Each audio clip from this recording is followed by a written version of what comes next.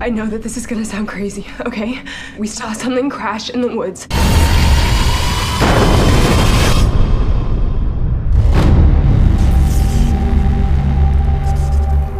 No way. We thought it was a plane.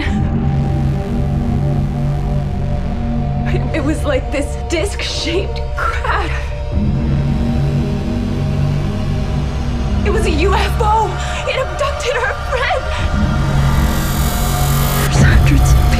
Still alive up there. You've got to do something. Who took them? Who do you think? Ever since Roswell, the U.S. government has had a treaty with the extraterrestrials. They do tests, experiments. You tell them the truth. They want to know everything about us. We are gonna die in here. What kind of treaty? It's a basic, simple agreement with one cardinal rule.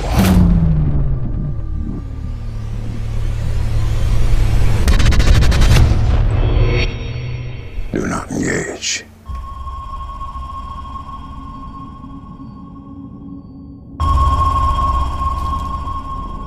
And you.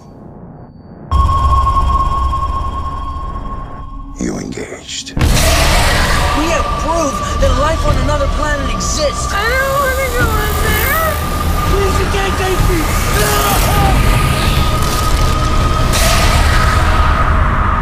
You ain't got to go into outer space to get probed.